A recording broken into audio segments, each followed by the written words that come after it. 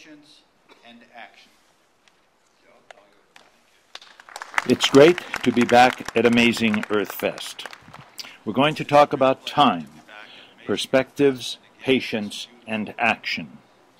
We live in the present. We look towards the past, to our parents and grandparents, and to the future via our kids and grandchildren.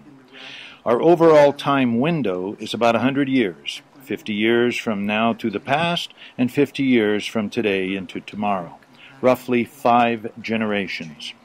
We live in the immediate present on a land and a planet with a very long history. Our cultural traditions go back 500, 10,000, even 50,000 years. Our general anatomy evolved over the last 5 million years, give or take. Our biochemistry is based on the very earliest life on Earth, over 3 billion years ago. Everything we experience and know is based on and dependent on physical laws and processes set in place and in motion with the birth of the universe, some 12 or so billion years ago. Again, give or take. The birth of the universe is what nearly all educated humans today refer to as the creation event, the Big Bang perhaps the work of a great spirit or God. For the last two million years or so, since the evolution of our big and diversified brains, we have wondered and pondered who we are, why we are here, and where we are going. Our big brain is very good at taking in information from the world around us, using our experience and memory to fill in for information we do not have, and presenting us with scenarios for what may be going on. We then select or choose a scenario, perhaps discuss and embellish it, and develop a story, which helps us make sense of the world. We don't like uncertainty or mystery. We use our stories to explain what we don't know, and we develop new stories for new mysteries or concerns. Where did we come from? Why must we die? What's after death? We developed creation stories and myths. We defined gods and goddesses. The Greeks called their earth goddess Gaia. We tell those stories, we embellish them, we write them down, they become comfortable, they become accepted. And many of those stories in many cultures are codified and some become considered sacred. Gods are the basis of religions.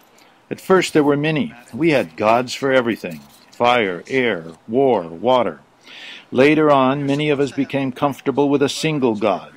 We adopted monotheistic or Abrahamic religions, Judaism, Christianity, Islam.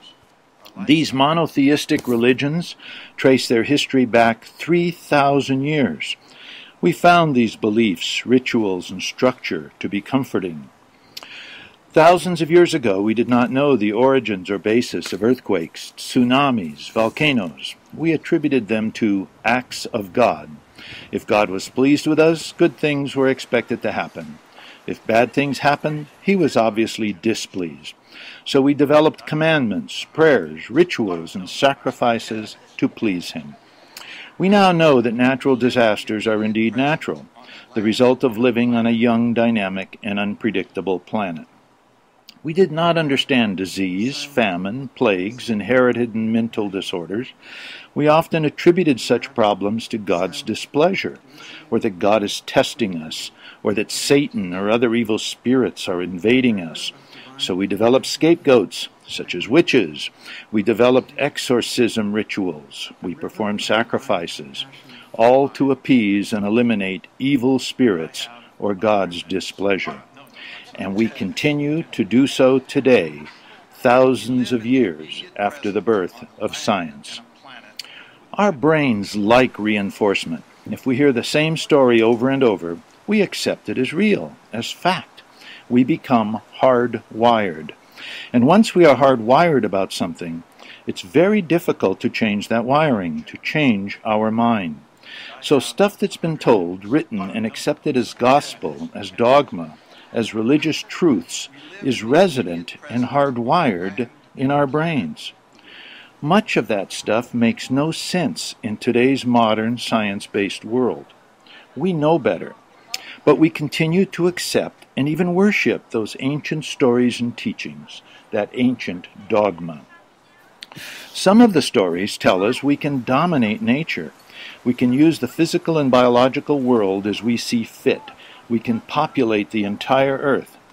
Some of those stories, those beliefs, tell some of us not to worry about limits, not to worry about fouling the planet, because God will see to it that we're taken care of.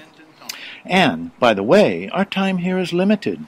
We are destined, some of us are taught and believe, to be carried away, to participate in a rapture or similar event which takes us beyond this finite planet. Such beliefs tend to absolve us of the need to live in such a way that the planet is not desecrated, polluted, and fouled. We discovered fire some 50,000 years ago, coal some 800 years ago, oil maybe 200 years ago, and via coal and the steam engine we began the Industrial Revolution. In the last hundred or so years, we have burned much of the oil and coal produced over hundreds of millions of years. All that burning has resulted in a dramatic change in the planet's atmosphere, resulting in major destruction of life in the oceans, climate change, resulting in severe and very unpredictable weather, and the beginning of a period of the migration of hundreds of millions of climate refugees, all largely due to the wanton, excessive, and even clueless burning of fossil fuels. There's a lot we don't know and there's a lot we'll never know. Spirituality and even religion may help address such mysteries. But we must not ignore what we do know. We should not teach our children stuff which makes no sense and endangers our very home, the homes of our children, and the homes of their children. We need not live irresponsibly. We are here in a beautiful natural amphitheater constructed of rocks and minerals deposited over 200 million years ago. The biological matter produced and deposited has been transformed through the coal, oil, and natural gas we burn today. We are taking 200 million years of biological production, and we and fellow humans are trying to burn most of it in a hundred or so years. This planet is about 5 billion years old.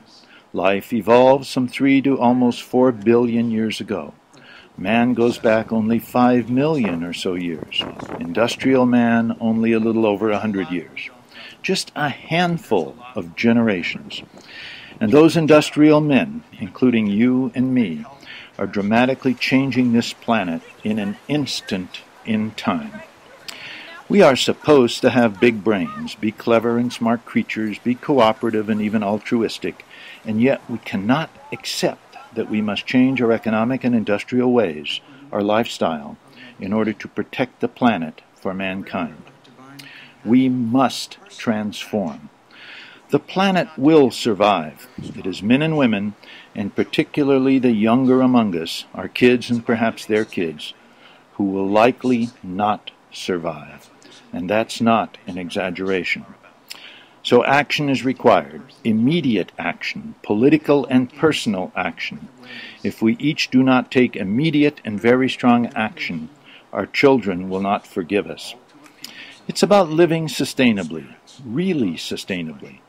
That's what this invocation and Amazing Earthfest are about.